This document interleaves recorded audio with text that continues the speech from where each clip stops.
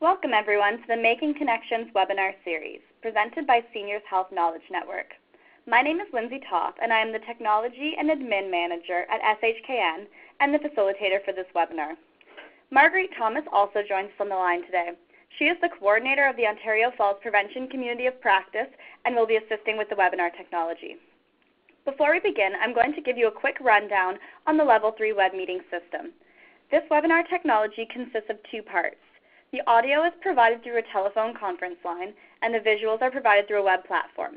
The number for the conference line and the link for the web platform were sent to you by email after you registered for the webinar with Level 3. If you have questions about the technology at any time during this presentation, please type them into the chat box located on the left-hand side of your screen. Alternatively, you can send me an email to ltoss at seniorshealthknowledgenetwork.com. I will work with you to resolve technical issues as soon as possible. This webinar will contain an opportunity for discussion during a question and answer period at the end. If you have topic-related questions during the presentation, please type them into the chat box. During the Q&A, I will read those questions aloud to the presenter. If you would prefer to ask a question over the phone, you may unmute your line by dialing star 7 when prompted. When you are finished, we ask that you please dial star 6 to remute your line. This webinar is being recorded. The recording and the slide deck will be circulated by email after the webinar. I would now like to introduce our speaker, Dr. Susan Leat. Dr. Leat is a professor at the University of Waterloo and a clinician in the Pediatric and Special Needs Clinic as well as the Low Vision Clinic. Dr. Leat, I invite you to unmute your phone by dialing star 7 now. Hello. Hi, take it away. Oh, okay. So uh, good afternoon, everybody, and welcome back to part two of the uh, presentation that I've put together. Uh, so, uh, as you remember, if you were here for the first part, we talked about some of the normal changes that happen in the eye and vision with age. And um, I mentioned also about uh, visual impairment and uh, some of the common eye diseases and also about low vision rehabilitation. So today we're talking about the relationship vi between vision and falls. Uh, I'm going to talk a little bit more about some of my research and then we'll talk about modifying visual risk factors and environmental modifications as far as vision is concerned. So I'm sure you're all aware that uh, the causes of falls is very multifactorial. And in here we have a list of them. They sort of tend to be divided into four categories. So this is the biological and medical risk factors. And as you can see, vision is listed as one of them. It consistently is found to be related. And then we have the behavioral uh, risk of uh, list of risk factors on the left here, and then environmental risk factors. And um, again, I've highlighted in red some of the ones that I'm going to be mentioning later on. And lastly, socioeconomic ones. And uh, the rate of falls increases uh, these with as these risk factors increase. So the risk factors uh, seem to be additive, so that if you have um, four or more factors, then your risk increases to by 78%. So let's talk about vision. So what particular aspects of vision are associated with falls? And when we look at this uh, literature, we find that um, often uh, measures of balance are looked at as well, or hip fractures, which of course are very related to falls. So the first factor is visual acuity, and so this is the eye's ability to see fine detail which is of high contrast, usually measured with the visual acuity chart. And this has been measured in loads of studies, and it consistently almost always comes up as a risk factor, increasing the risk of falls by about one and a half to two times. So that's your basic visual acuity, often measured with both eyes together. But in some studies, they've uh, looked at the visual acuity in each eye separately and look at whether there's a difference between the two eyes. And um, that has sometimes been found to be more related to the risk of a fall than just simply having uh, an overall loss uh, of visual acuity in both eyes at about the same amount. So visual acuity is sometimes also looked at in terms of visual impairment. So there have been a few studies that have looked at this. Uh, and when we define visual impairment, it's usually defined in terms of visual acuity. So these two are related, but just a different way of looking at it. And uh, what studies have found is that visual impairment is three times more common in fallers than the non-fallers. And then a very interesting study looked at the patients who admitted to an ER in a hospital for fall or hip fractures.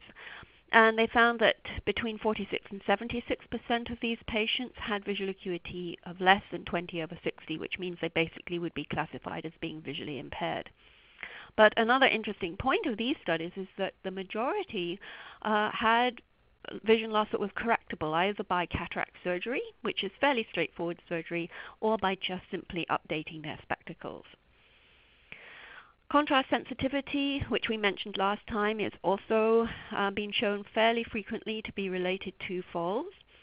And uh, also stereopsis has um, been found to be related quite frequently. So stereopsis uh, is one way in which we judge depth or how far away things are from us. It's not the only way that we judge depth. There are several cues to depth perception.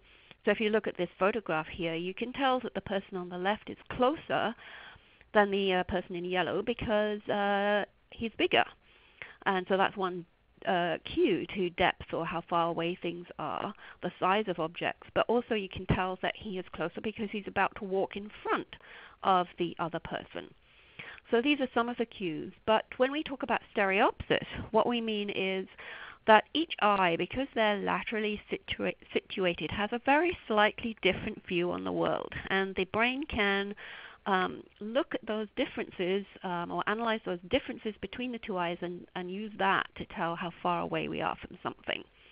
And so stereopsis uh, uh, has been shown to be linked, both depth depth perception and stereopsis specifically have been shown to be linked um, to the risk of falls.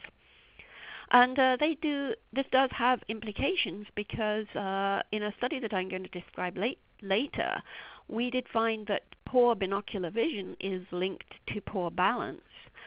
And uh, if you have poor binocular vision, you're almost certainly going to have poor stereopsis. So those two factors are related.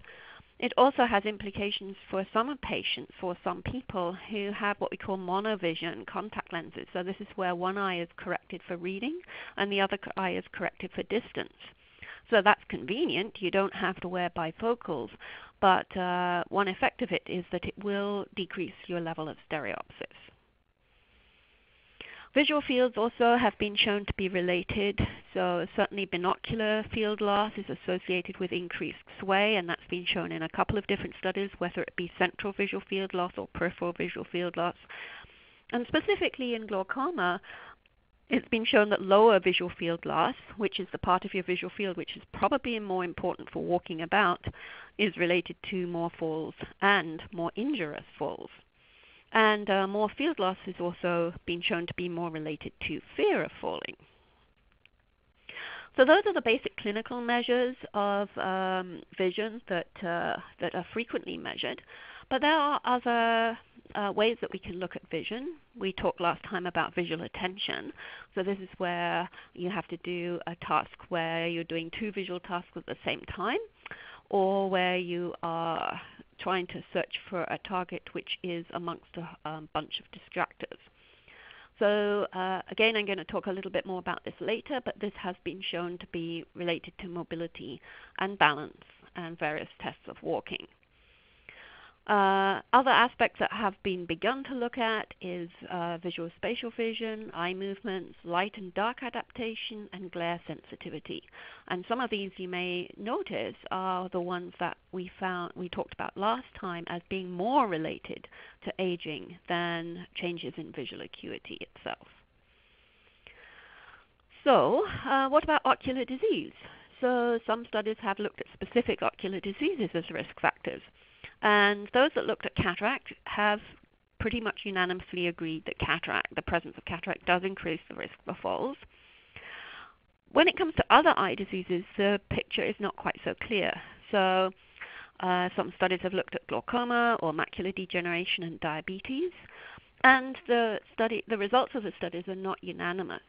And I think the reason for this is that some of these studies are re- relying on self-report of uh, whether the person has an eye disease or not, but they also don't look at the um, the how advanced the disease is.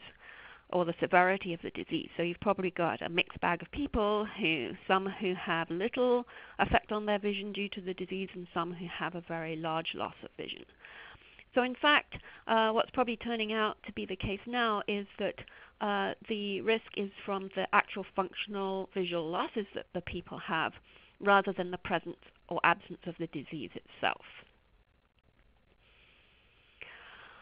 So, so those are the uh, the main types of vision measures that have been looked at in terms of falls. So why does poor vision increase falls? So you might think this is an obvious question, but you know just to analyze it a little bit. So we know that the our balance is maintained by input from three main systems, the proprioceptor system, the vestibular system, and visual systems. Now, as we age, there's less input from all of these three systems, so there's less input from the vestibular and the proprioceptive system, so that what happens is older adults rely more on their vision. And uh, this happens earlier in women than in men, so as early as 50 years of age. So, of course, then when vision also is disrupted, the person is likely to sway more and therefore be more prone to a fall. And so then when vision is reduced, as I said, and this could be due to aging itself or to presence of eye disease, or it could be due to a specific situation in the environment, there's going to be more, even more risk for falls. So an example in the environment might be uh, when the person gets up at night and doesn't turn the lights on, there's going to be less visual input, or in a dark stairway, stairway, or in situations where people don't wear their spectacles. So commonly you know, people might not put their spectacles on at night to go to the bathroom or when they're showering, obviously. Uh, and often in hospital situations, people seem to lose or don't use their spectacles. So these are all going to reduce the input to the visual system and thereby increase the risk for falls. Now, another very interesting study that's just come out uh, is uh, that it may be actually be change in vision rather than the level of vision itself that might be more significant. So this one study looked at worsening vision and found that people whose vision had become worse within one year, so they had become visually impaired within one year prior to the date of the study, uh, they had more risk for falls and fractures than people who were already visually impaired. So it seems that we adapt to our level of vision, and it certainly seems to be true that uh, people who have more severe visual impairment or visual losses don't have as much increase in risk factor as you might expect from their very poor vision. So worsening vision is associated with increased, but perhaps even improved vision might be as well. And uh, we're going to come to talk about a study, um, a very frequently quoted study um, that uh, may indicate that, and I'll come back to that. What about uh, uh, the type of spectacles that we wear? Yes, there are some studies that have looked at that.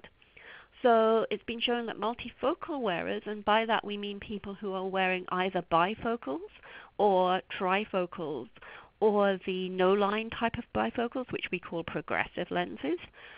So they were all all those types of lens wearers were found to have worse contrast sensitivity and worse stereopsis when they look through the near portion and they were two times more likely to fall. So what's going on here is that the near portion, this is a bifocal, an illustration of a bifocal. The near portion, of course, is for reading, and is focused usually about 40 centimeters away. So if you look through that section of the lens when you're looking at the ground ahead of you, it's all going to be blurred and out of focus. So we advise patients to tip their chin down and look over the, through the distance portion when they're looking to where they're going to put their feet or going up and down steps. But it's been shown that often patients don't do this. People tend to still look through the bifocal segment. So then everything is going to be blurred, and uh, that does increase their risk for fall.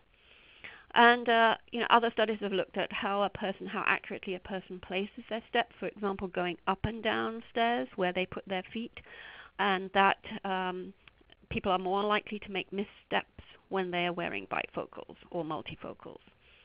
And similarly, some studies have looked at uh, doing uh, people doing um, going around a mobility course and the er, errors that they make, and people who wear multifocal lenses are more likely to make errors than people who wear single vision lenses, so that's with no bifocal in it. So I said I'd mention a little bit about my studies. So I've been looking at visual attention and mobility.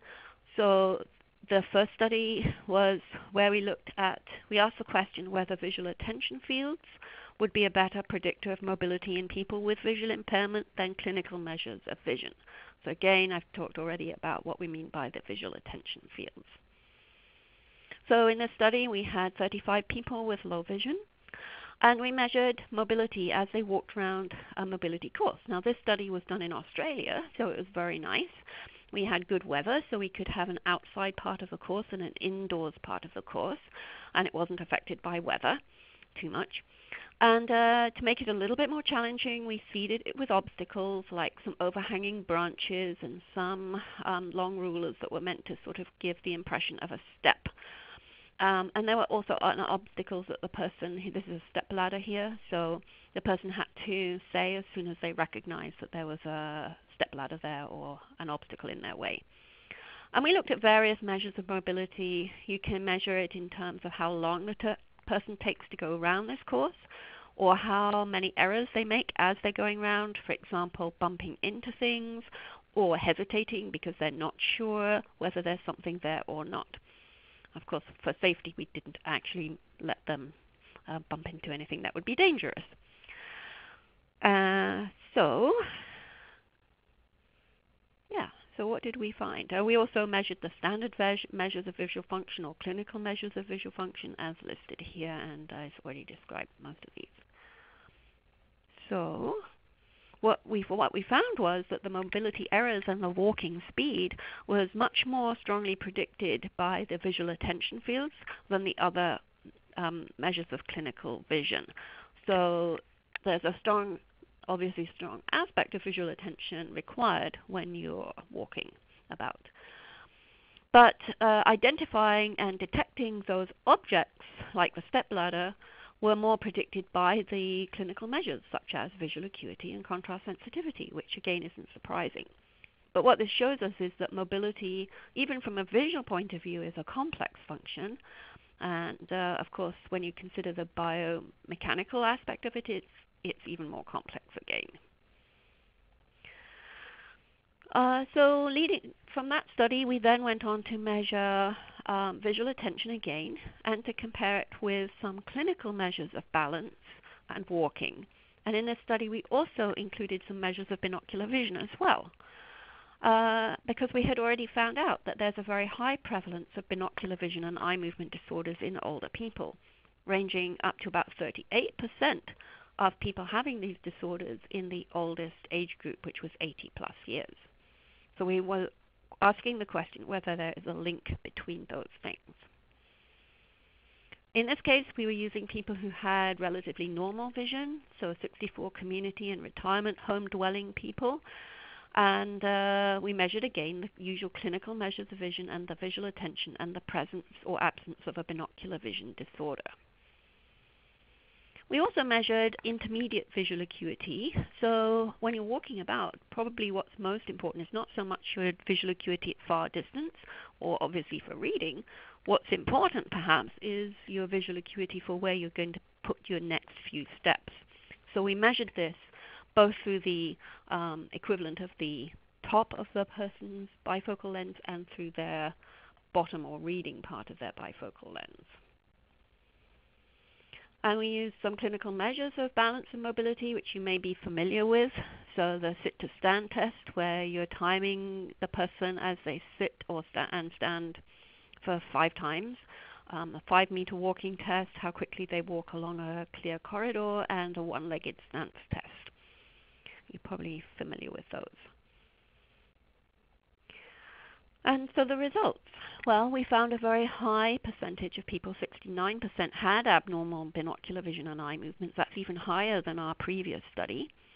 And a very high percentage of people who had reduced stereopsis as well. And what we found with regards to the test was the sit to stand test was predicted by uh, a number of different factors, but as you can see listed here, but specifically in that intermediate visual acuity, so the visual acuity for the next few steps, and binocular vision. The five meter walking test was predicted by, uh, again, by intermediate visual acuity. And the one legged stance test was again predicted by binocular vision and the performance on the visual attention field test. So there, you know, there are these other aspects of vision which are predicting some of these tests. So, of course, the next obvious question is can training visual attention, which we know already is trainable, help with a person's mobility or their balance? And um, in fact, we have a couple of studies that are going on right now that are looking at this question uh, training visual attention by itself or in conjunction with exercise. And then uh, last time I mentioned the study about vision and falls in hospitals, where we had actually gone into a hospital wards and uh, we were measuring uh, aspects of people's vision. And th- this time it was just the simple clinical measures of vision amongst these hospital patients. So these were not particularly patients who had been admitted for falls. They were admitted for a whole variety of different reasons. Uh, and I've already mentioned how a very high percentage of them were found to have reduced visual acuity or reduced stereopsis. So in this study, we had 115 patients. Interestingly, 24 were admitted for a fall. That was the reason for admission to hospital. 10 of them fell while they were in the hospital. And in fact, two of them were both admitted for a fall and then went and fell again while they were in the hospital. And the fallers, that, um, these 10 fallers that fell during the hospital stay, were matched with a non faller in terms of their sex, their age, and a multi morbidity score that we calculated and a medication score. And these scores were sort of biased towards the risk factors for falls. And here there is some results. So we found that there was a significantly higher number of falls, despite the fact that there were only 10 fallers in this particular preliminary study. Um, there were a significantly higher number of them with visual impairment, and uh, that was based on visual acuity again, or aspects of or different ways of measuring their stereo acuity or stereopsis. So again, we are finding that there is preliminary evidence that even in a hospital set, setting where there are very many factors, some of them based on the individual person, some of them based on the way that hospital procedures are done and units are run. So even in that situation, there's that vision has some part to play. And okay, so that's our studies uh, and a review of what aspects of vision are linked with falls. So, since there is this strong link that has been found by most studies, the obvious question is if we can improve vision, then will that decrease the risk of falls? So, what is the evidence for that? So, first, I'll talk a little bit about cataract surgery. So, there's quite a few studies that have looked at this. Some of them are older studies that found that cataract surgery on the first eye, so most people who have cataracts have it in both eyes, and you do the surgery different times. So these studies found that um, first eye cataract surgery did reduce falls and fractures, but a couple of studies found that the second cataract surgery on the second eye did not have any effect in that way, which is a little surprising since we've already found that uh, a difference between the two eyes is a significant factor. And then a few more recent studies there's a little bit of discrepancy in some of these studies. So, a study in Australia found that the falls increased between the first and second, increased, I should say, between the first and second eye cataract surgery and after the second uh, eye surgery. But this was compared to the number of falls in the year before the first eye cataract surgery. So, you know, this is a longitudinal study, it's not a randomized clinical trial, which would be the best level of evidence. And of course, over this time period, people, of course, are getting older and more prone to falls anyway. In Vietnam, they found the opposite result, and this was actually uh, the same similar group of people did the, both of these studies. And here they found that the first eye cataract surgery decreased the risk of falls quite significantly, and as did the second eye cataract surgery. And then a study in the US looked at cataract surgery and found that it decreased the risk of hip fractures. So Overall, there does seem to be a fair amount of evidence that cataract surgery, particularly for the first eye, is effective at reducing falls. Another so another mm, way that we can improve people's vision, of course, is by having an eye exam and possibly changing people's spectacles if they need it. So there haven't been very many studies like this, but the study by Cummings that I mentioned earlier did a randomized clinical trial, and of course that is one of our highest levels of evidence for um, any kind of intervention being effective. Um, so they did an RCT of comprehensive eye examination, and what this included was going to the optometrist and having a spectacle correction change if necessary, referral to an ophthalmologist if necessary, or to an occupational therapist if the person had low, vi- low vision um, for help around the home. So that's what the intervention was, and the some people were randomized to that, and the other people, the controls, were randomized just to continue uh, with their usual care. What they found was that falls and fractures were more frequent in the intervention than in the control group in the first six months, although there was no difference in the second six months. So that probably was not what they were hoping or expecting to find. But when we drill down a little bit more into their data, what we see is that uh, as it happens, only 44% of the intervention group actually received any therapy. So just having an eye exam, if you're not having any therapy or any change of your prescription, isn't expected to help. So only 44% had any therapy and only 30% received new glasses. On the other hand, if you look at the control group, what you find is that 72% of the control group visited their optometrist or ophthalmologist anyway. So there's not really much difference in what's going on in this control and this intervention group. And this kind of illustrates the difficulty of conducting this type of uh, study. Because when you're doing this type of study, you have to explain to people why you're doing the study, and of course, you have to explain your hypothesis. We expect that um, uh, having new spectacles or having an eye exam may decrease your risk for falls. So you've implanted that idea into the control group, and it's probably likely that they might think, oh yes, I'm due for an eye exam, perhaps I better go, and they take themselves off and have an eye exam themselves. So this is what we call crossover in these types of studies.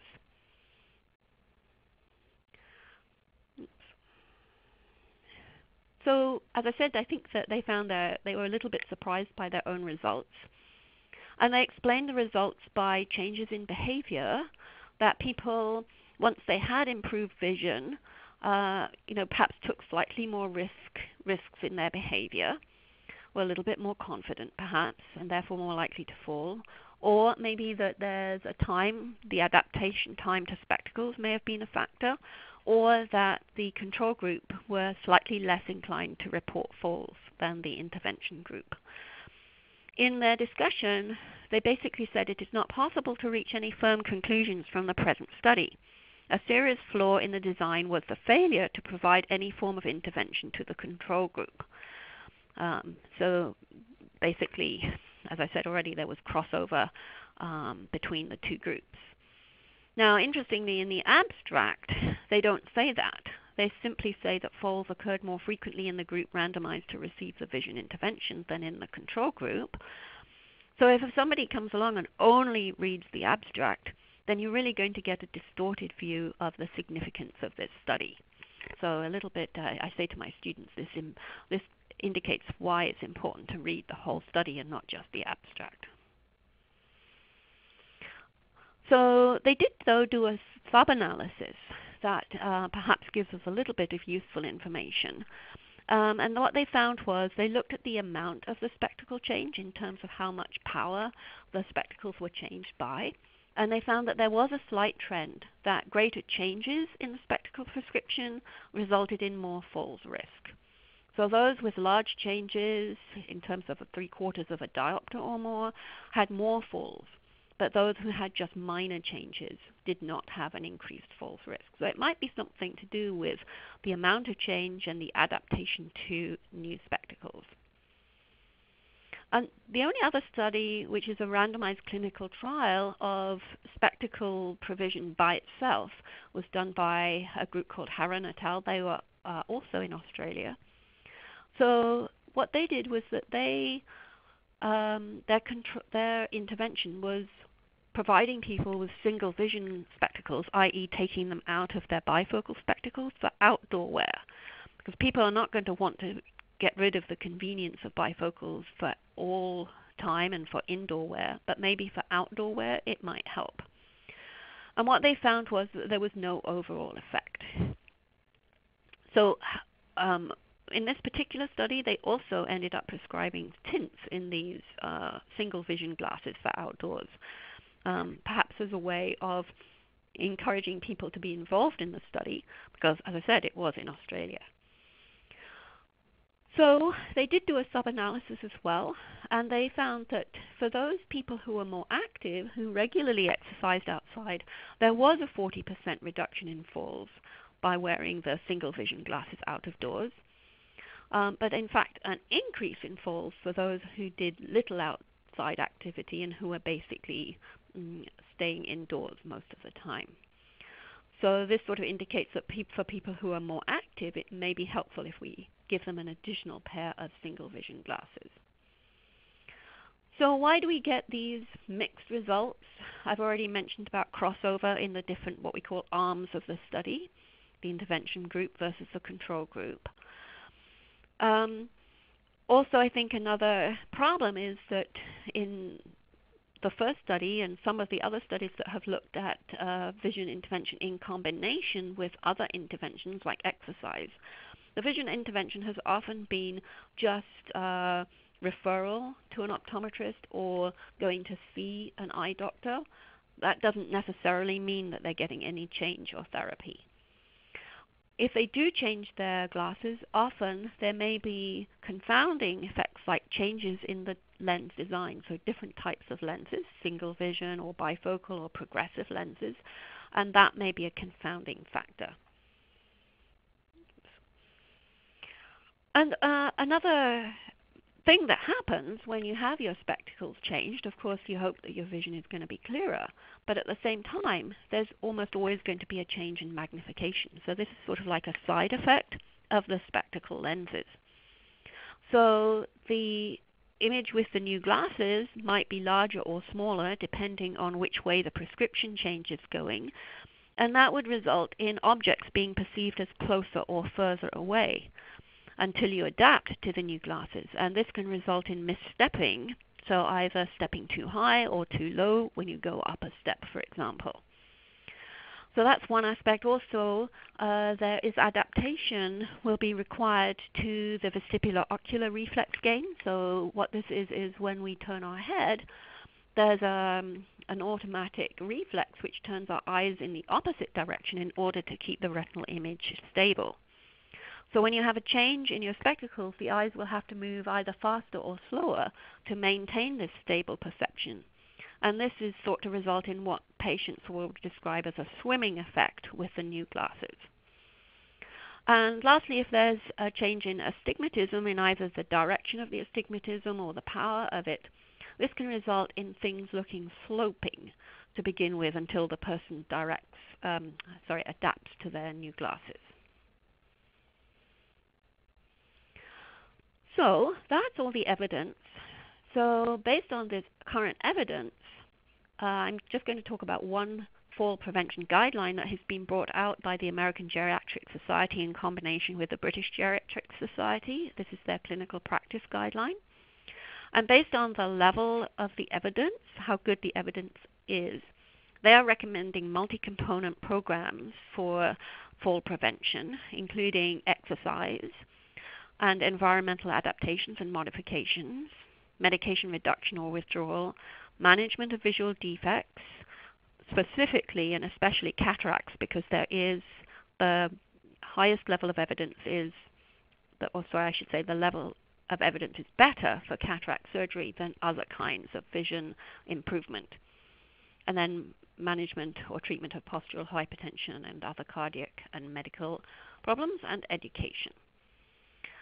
So vision assessment and uh, vision intervention is part of a falls assessment and management. So, what as an optometrist um, is the role here? So, this is how I teach my students currently. So, optometrist as a profession is becoming more aware of the issues of falls in older people, and certainly, as I said, my students will be taught this, um, and it is being taught in continuing education programs amongst optometrists. So, what is our role? So, firstly, we say that we must be aware of those who are at risk, and when we see our patients, of course, we will know what their health conditions are and what their medications are.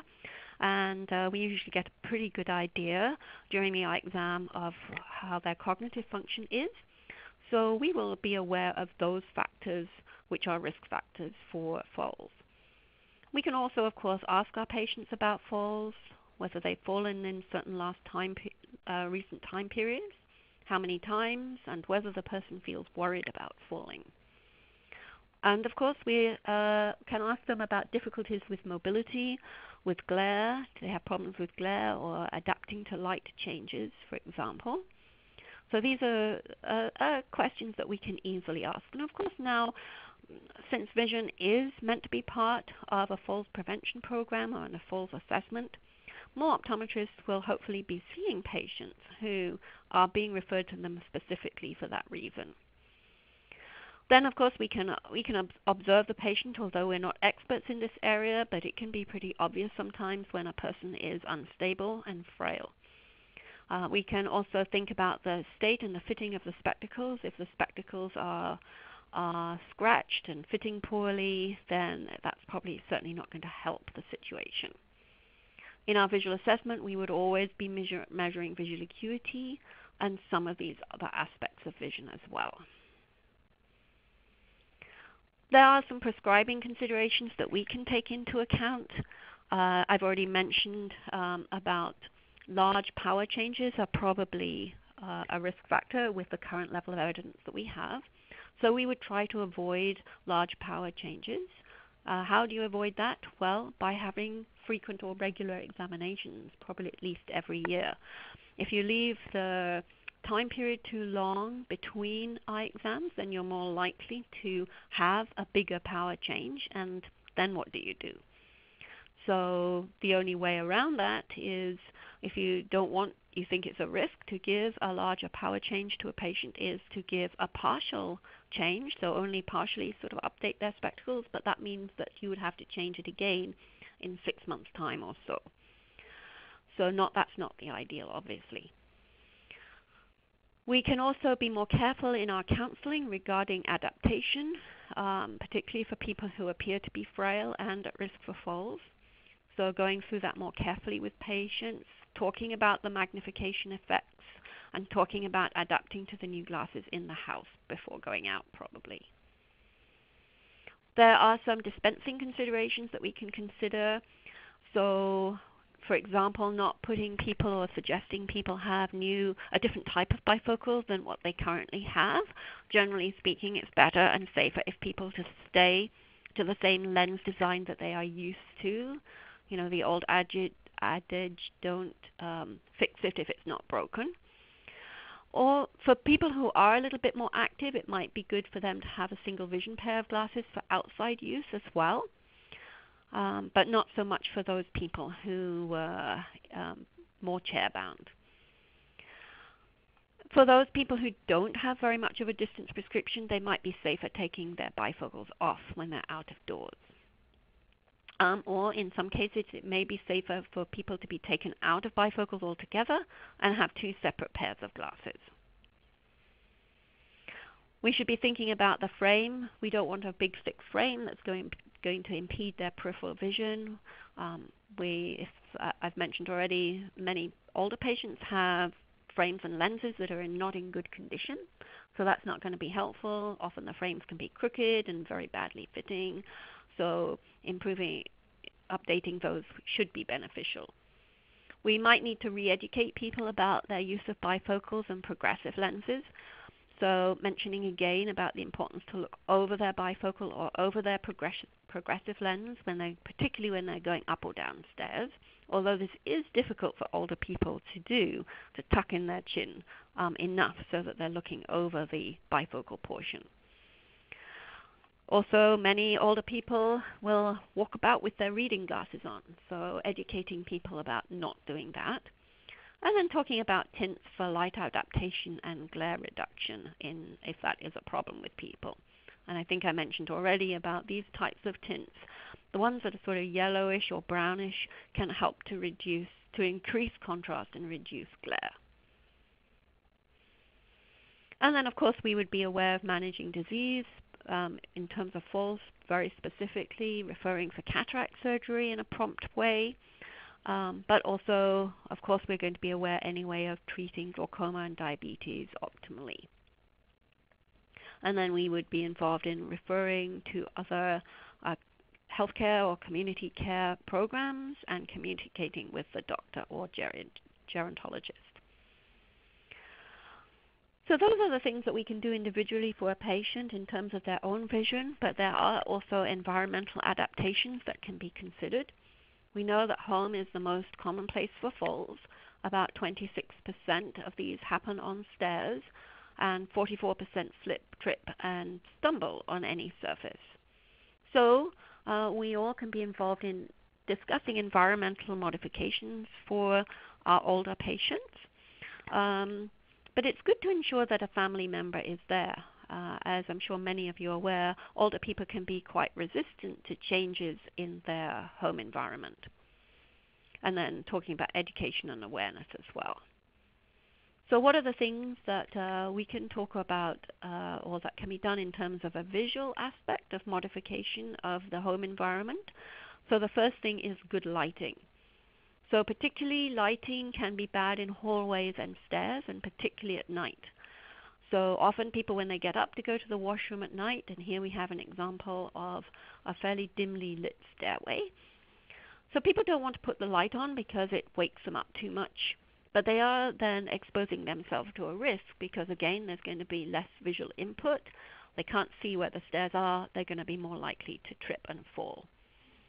So good lighting on stairways and turning the lights on. And on the right hand side we have an example where we've got fairly good lighting, general lighting, and task lighting in this kitchen. Uh, the second main thing is contrast, increasing the contrast. So and here's some examples on the bottom here. So here we have that same set of stairs you can see that uh, when you're walking upstairs, you can actually see the edges of the stairs not too badly. But when you're looking down the same set of stairs, you can see how there's very little contrast on the edges of the stairs to see where the edges of the step is. So putting a line, uh, painting a line along the edges of the stairs can certainly help with that. And the line should be in contrast. So if you've got stairs that are a dark color, then a light edge to the stairs would be good. But if you have stairs that are basically a light color, then you would put a darker strip on the edge. So whatever is going to give the best contrast. And uh, I could put this uh, website here. This is from the American Foundation for the Blind, and it gives a lot of resources and ideas that uh, talk gives some other examples about contrast and how to improve things around the home for people with visual impairment. But a lot of this would be relevant for people who are older and um, just have the normal sort of changes with age. Another thing to think about is, uh, if possible, to try to eliminate and not have too many changes in floor color or floor contrast. So people with dementia or very or quite low vision or visual impairment may think that there's a step there. So here where there's this change at this doorway, a person might not be sure whether there's a step there as well, and so may, they may hesitate. Or having a darker mat like this may actually cause some people with dementia to hesitate. They may see it as a drop off um, instead of a step or a mat. What about color? So color can be used, and I did find some, sort of just expanding this a little bit for um, some ideas for people with dementia or delirium, but the choice of color of paint for the walls and so on can be uh, can be can be is something that we can think about. So in terms of the older eye and the the parts of the spectrum that the older eye is going to absorb or not absorb, then it's probably good to consider a light yellow for walls. So this is thought to have the eye the, to be this is thought to be a relaxing color and cheerful, and also it can be seen quite well by the aging eye. Or possibly you might consider a light peach color or a light green color. And then for contrast, for things that you want uh, those people to be able to see very easily, then a bright or darker blue or red uh, to use those as a highlight. So here's some general principles about color contrast. Uh, so if we're using color to emphasize things, then we want there to be a contrast not only in color but also in the light differences as well. So putting two dark colors together like this is not going to be easy for somebody who has either poor color vision or just poor visual acuity, poor contrast sensitivity. So we always want to put a dark color together with a light color. So that's one rule. We also want to use colors that there are certain colors that are naturally dark and some colors that are naturally light. So those on the top of this color wheel are those which are naturally dark and those on the bottom are naturally light. So picking one dark one and one light one should work. And then the last rule is avoiding hues from adjacent parts of the color wheel. So that, this is this example again here where I've got a blue against a mauve. They're from adjacent parts of the color spectrum. So anybody with uh, loss who has reduced color discrimination is going to find that difficult. So these are some rules that we can use, guidelines if you like, that um, if we're using color with our older patients. And here's just a little bit more of a refinement of that idea. So avoid using desaturated colors together. So the desaturated colors are the pastel colors, or what I say is the dingy, muddy, muddy colors when I'm talking about this with um, patients. So you don't want to have two pastel colors together or two muddy colors together. You can use a desaturated color with a saturated color. These are the bright colors, if you like. Or, or a pastel one with a muddy one, but not two muddy ones or two um, pastel ones together. And then uh, another aspect that we can help people with in terms of vision in their environment is to reduce busy patterns and clutter. So you can see on the right hand side here, this picture how there's lots of trip hazards in this room here, lots of things on the floor, obvious trip hazards. But you know this this uh, picture on the top here doesn't have so many obvious trip hazards, but it has a lot of busy patterns going on, which is going to make it harder for older patients. And similarly, this pattern, this uh, carpeted pattern here is not going to be very easy for a person who with an older person to deal with. It would be better if the carpet here was plain a plain color. Okay. And lastly, I put education here as an important aspect. So just talking with people about some of these risks can make a lot of difference. So I remember my um, one of my research students who has been working on one of the studies that I mentioned, and he was looking at people uh, and asking them about their number of falls for the six months prior to his study and then the six months after his study. And he was finding fewer falls in the six months after his study. And I was saying, what, what have you been doing with your patients? I would expect them, if anything, to have more falls as they're getting older. And uh, he said that uh, he's just been chatting with them and talking about some very simple things, such as you know, just having one point of contact. If you just touch with your finger on a wall or on an object, a piece of furniture, it can stabilize you. It doesn't have to be a firm hand grip, just one finger can stabilize a person in certain situations. So talking about some of these falls risks is obviously important. So this is uh, some of the people who have been involved in some of the studies that I mentioned. So my thanks to those.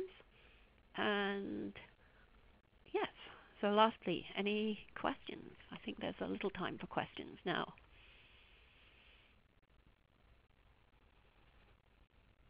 Thank you so much, Sue.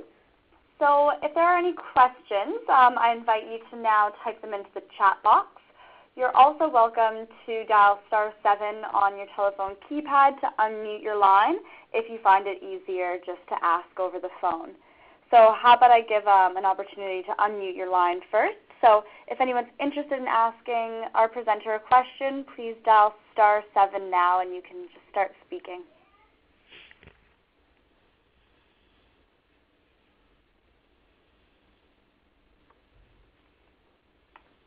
Okay. In that case, I will read some questions from, um, from the chat box. So the first question is, um, are you um, aware of the current provincial wait time for cataract surgery? Oh, um, I don't actually have that exact figure to mind. Um, I'm, I, I think I'd rather not answer that because I'm really not sure exactly how much it is in terms of months. Okay, no problem. Um, another question is if the stairs are carpeted, what should you use to provide color contrast? Hmm, that's a good question. Uh, so if you can't remove the carpet, then um, you could put some tape, like sort of masking tape or um, the sort of plasticized kind of tape along the edge of the uh, carpet of the stair. But you'd have to be very careful that you keep an eye on it, that it doesn't start fraying and coming up, and that would cause an additional, you know, an extra trip hazard then. Um, unless that that would be the only two things I can really think of at the moment. Okay.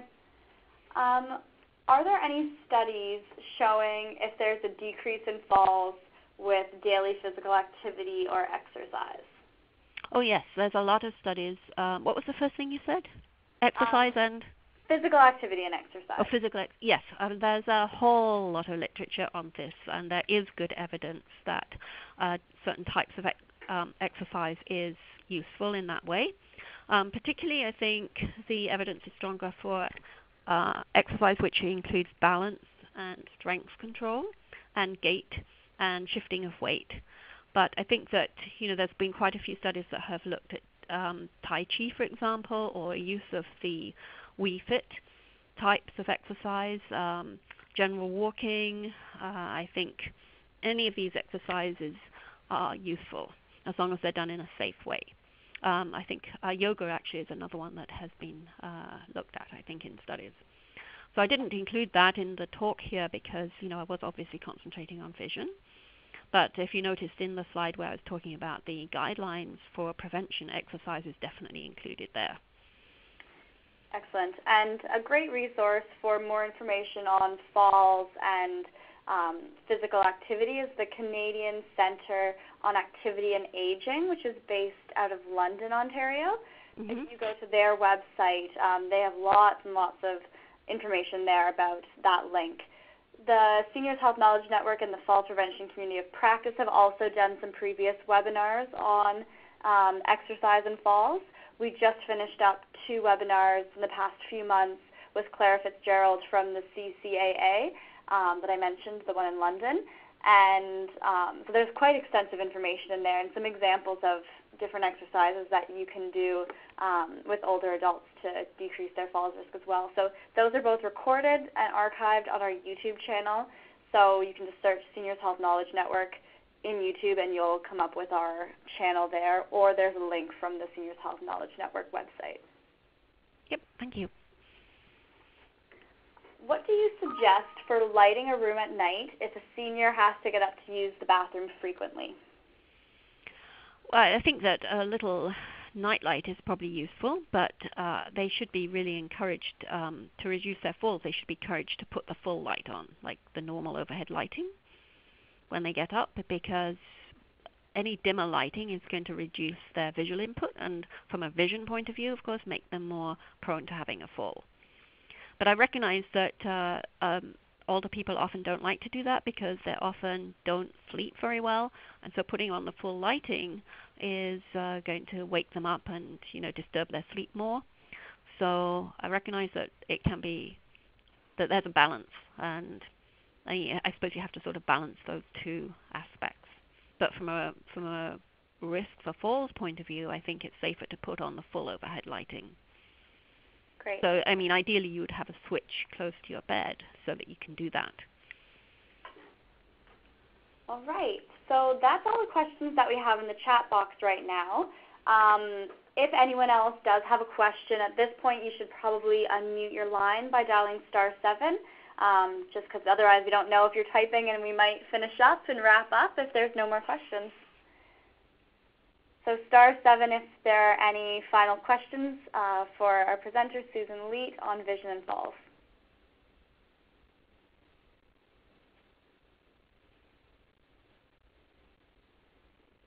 Okay, one final question in the chat box. Um, would you advise older adults to use a flashlight at night? Yeah, I think that's a that's a possibility. Um, the flashlight, of course, will give you central vision, certainly better than walking around in you know without a, an extra light. But it's only going to give you central vision, so you're not going to get that peripheral vision. So it's not going to be give you as much control of your balance or your walking as putting on the full light, the full overhead lighting. So it's so I would say it's better than nothing, but probably not ideal. And I suppose I can understand that another factor that I haven't mentioned is if you're sharing a room with somebody else, uh, then you don't want to put on the full lighting. So uh, maybe that would be a compromise in that situation. All these things you have to balance various factors, I suppose, to get the best uh, the best result. Would um, putting the full light on cause any difficulty adjusting to the sort of complete change in light to dark? That's a good question, and because we did talk about older people ha- taking a little bit longer to dark and light adapt than younger people. But our light adapt adaptation is much, much faster than our dark adaptation. So adjusting to the dark can take up to about 40 minutes to get to your full sensitivity.